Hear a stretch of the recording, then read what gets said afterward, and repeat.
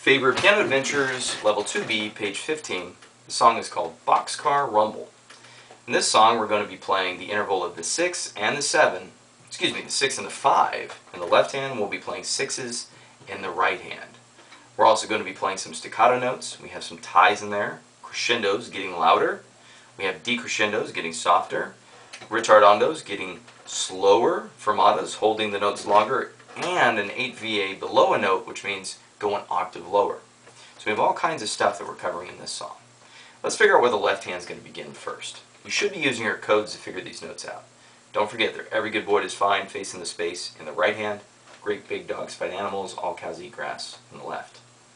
Maybe you've learned a different set and you can use those too. So here's middle C, two black keys, middle C. We're actually going down to bass C and then going down three notes onto G. This is the low G and that's the position your left hand will be in. G, A, B, C, D. We're going to be playing a fifth to a sixth in the left hand like that. In the right hand, we're going to be playing not middle C, but up here to treble C and down one to B, and reaching up with our fifth finger up to G. Another six interval. Okay?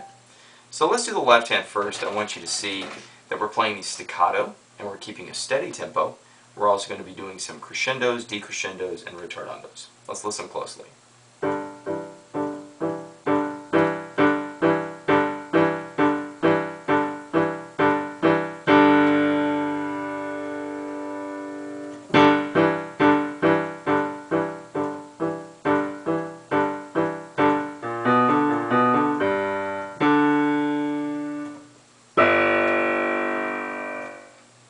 As you notice at the end, I moved down an octave because below the last note it says 8 VA.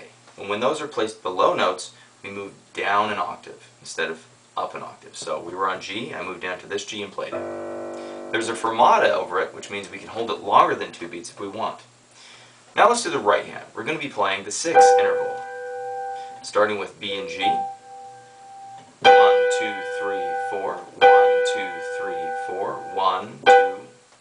Remember here on this part we're playing eighth notes. So if you want to, it's going to help if you count with and. Because eighth notes are a half a beat, right?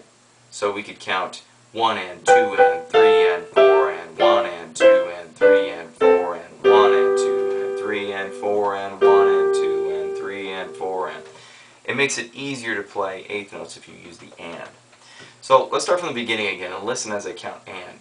1 and 2 and 3 and 4 and 1 and 2 and 3 and 4 and 1 and 2 and 3 and 4 and 1 and 2 and 3 and 4 and 1 and 2 and 3 and 4 and 1 and 2 and 3 and 4 and 1 and 2 and 3 and 4 and 1 and 2 and 3 and 4 and 1 and 2 and 3 and 4 and 1 and 2 and 3 and 4 and Okay, lots of counting there. It's good to get your tempos right. Now I'm going to go over there and play them both together. Let's listen to them. Let's find our positions again. Middle C. Remember we're moving up to treble C, putting our thumb on B, pinky over to G here. And that'll be our first interval. Left hand will be on bass C, down 3 to G. Put your pinky there. And your thumb will be on D. Okay, here we go, playing Boxcar Rumble.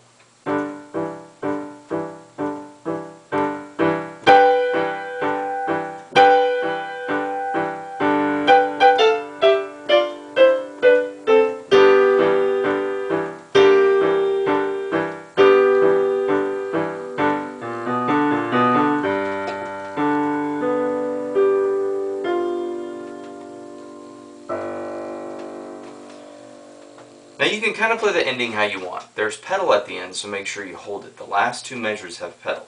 It says ritardando. You can start your ritardando where you like. Um, you could start it maybe here on the G, you could start it on the D, or maybe go.